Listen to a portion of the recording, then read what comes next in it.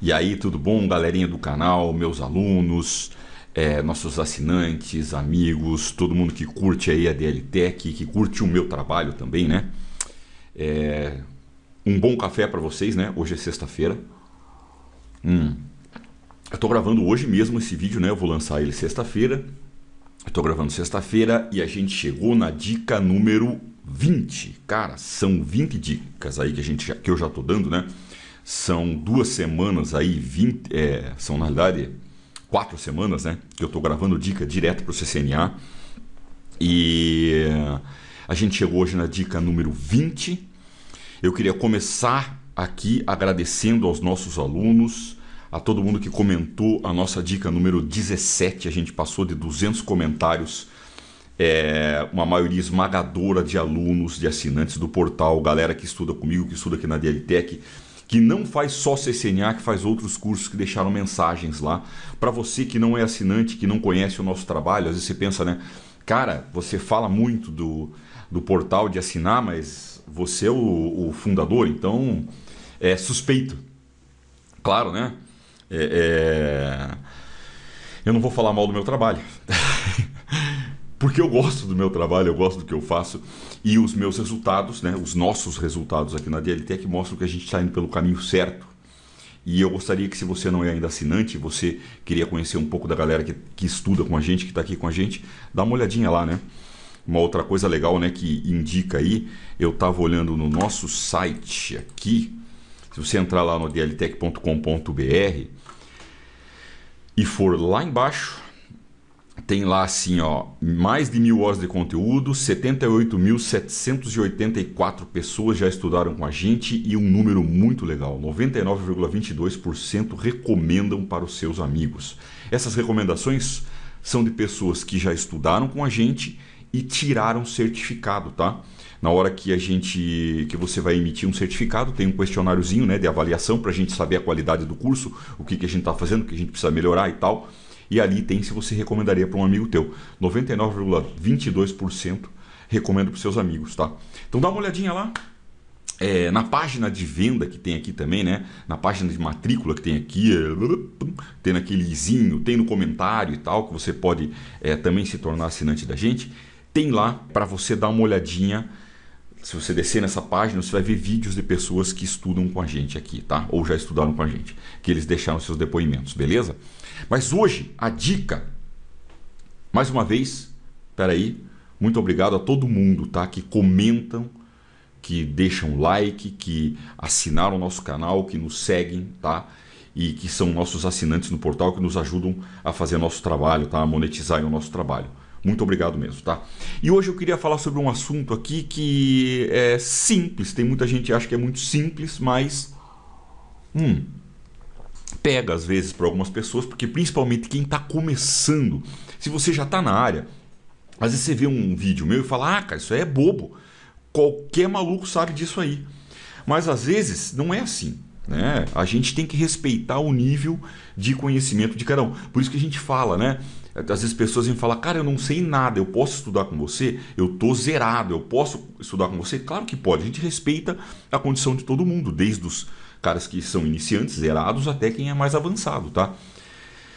E que tem, quem está começando, às vezes pega uma topologia na cara, assim, né? Pá! Aparece aquela topologia muito louca, cheia de ícone, cheia de coisa, e raiozinho, e coisinha ligada para tudo quanto é lado, e fica perdidaço, tá? Isso é uma das coisas que você vai acostumar durante o curso a ver. A Cisco tem vários ícones que ela usa e que na realidade esses ícones eles são meio que padronizados, tá? E cada um estiliza de um jeitinho próprio. Eu, quando eu faço as topologias do curso, muitas vezes eu uso até foto do próprio equipamento para ficar mais ilustrativo, você é, é, se acostumar, né?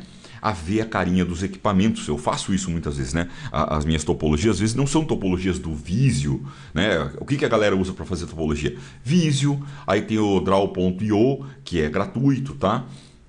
Você pode fazer topologia, cara, no Paintbrush, você pode fazer topologia no PowerPoint, tá? Você pega lá os, as imagenzinhas e faz, sem problema nenhum. Mas lógico, né, de uma maneira mais profissional, a galera usa esse Draw.io, utiliza lá o, o Visio, tá?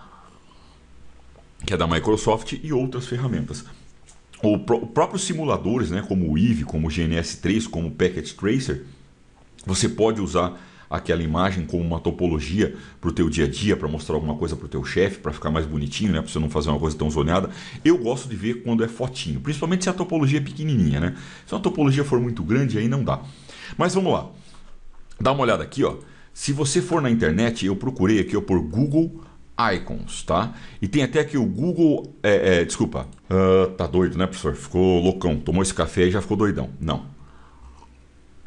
É que eu peguei, pesquisei no Google e confundi tudo. Eu coloquei aqui, ó, Cisco Icons, né? Vai aparecer um monte de imagem aqui, ó. Vamos pegar uma delas e eu vou te mostrar. Eu vou pegar. Qual? Deixa eu ver uma aqui que tem umas coisas que eu quero mostrar, né?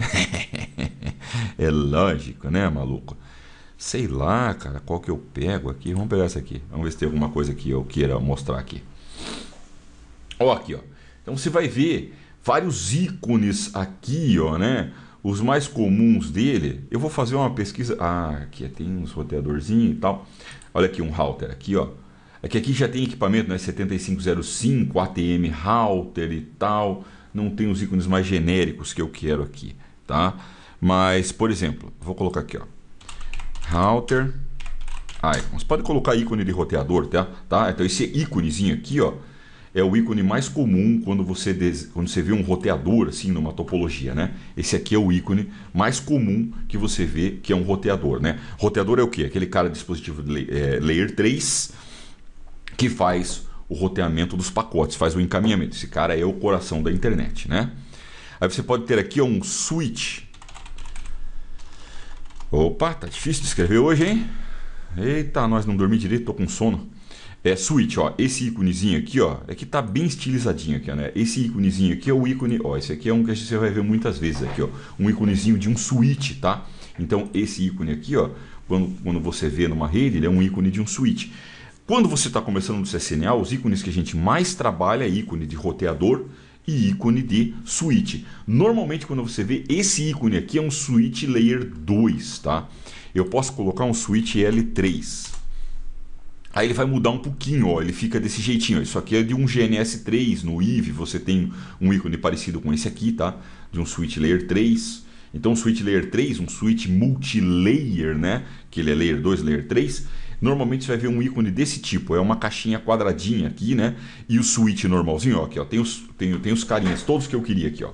Ó, hub, o hubzinho, então ele só tem uma setinha aqui, ó, por quê? Porque o hub é um grande curto-circuito. Vamos falar assim, tá? Quando ele é, é, recebe um sinal numa porta, ele repete esse sinal por todas as portas, tá? De maneira burra.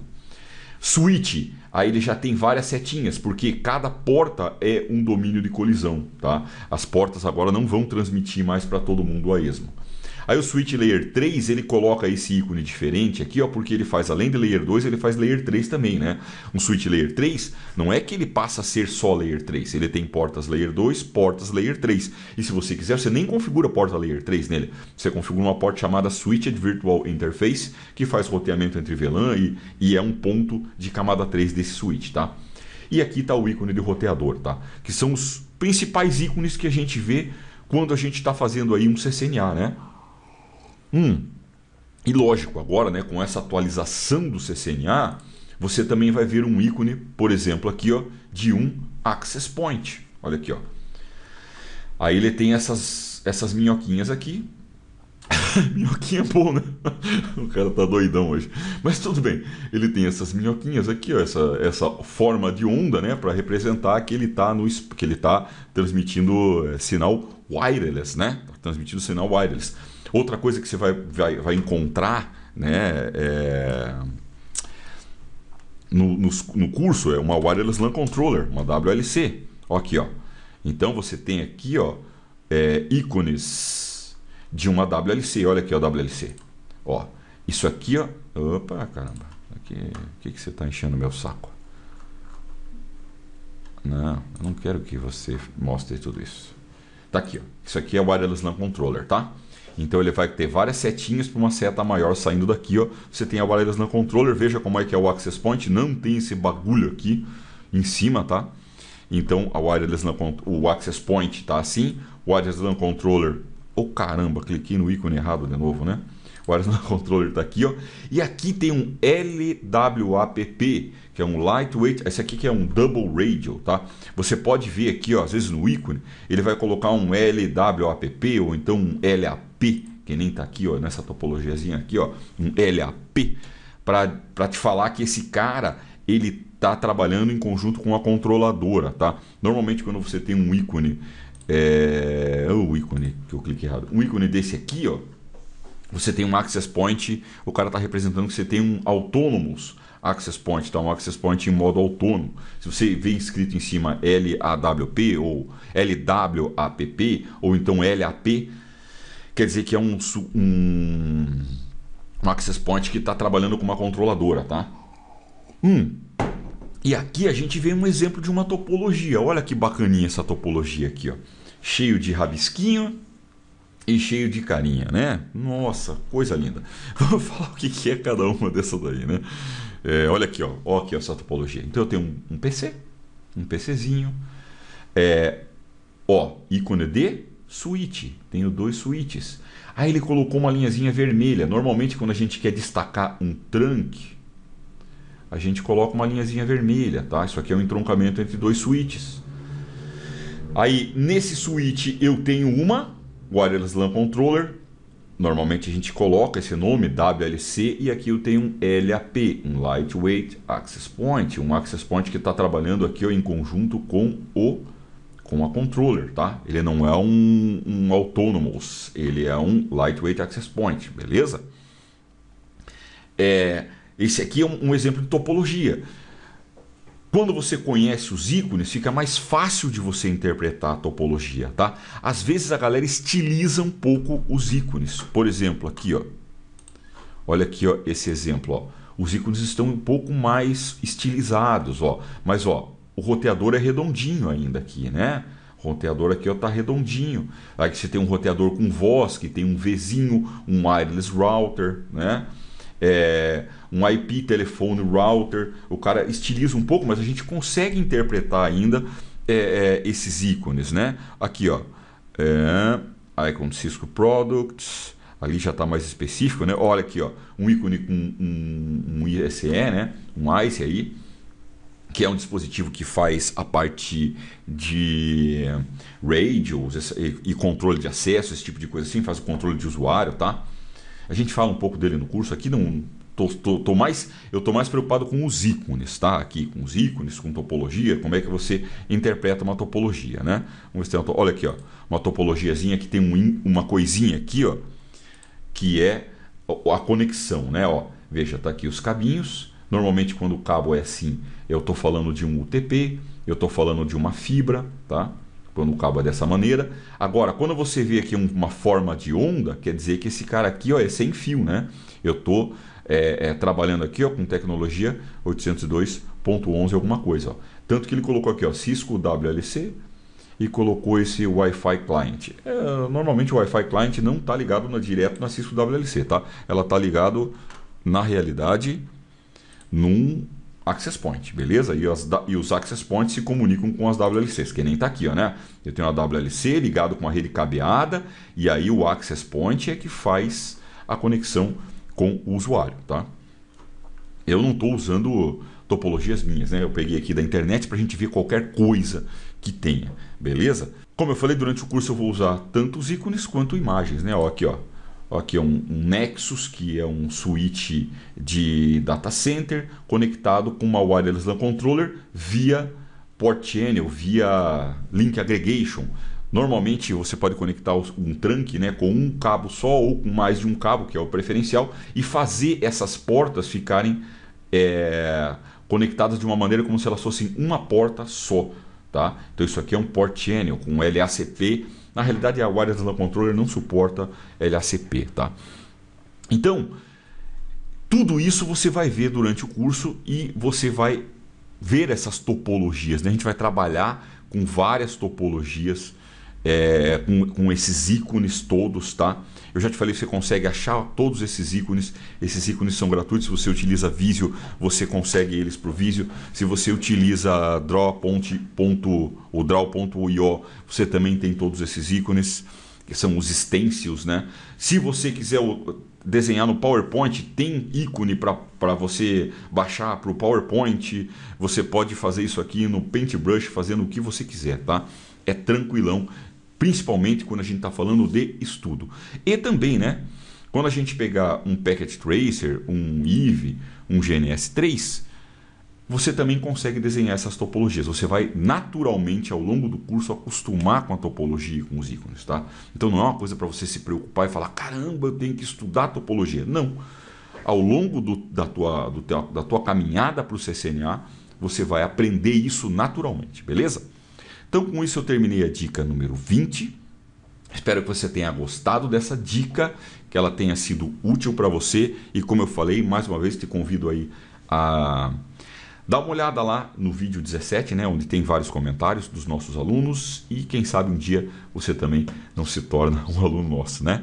Valeu e até a próxima dica.